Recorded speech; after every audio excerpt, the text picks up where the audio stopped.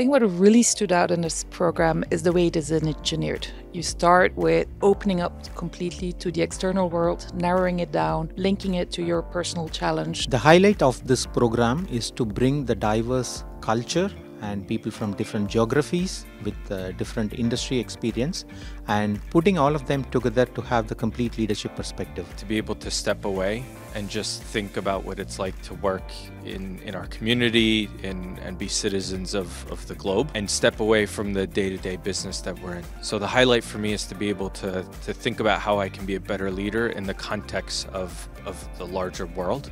Uh, for me, one of the biggest highlights were the group discussions because they really, uh, as much as I learned from the professors, I learned a lot from the peer group and uh, from those rich uh, group discussions we had. So that camaraderie was super important because you definitely did not feel alone in this world of trying to be a great leader and pushing forward with your strategies.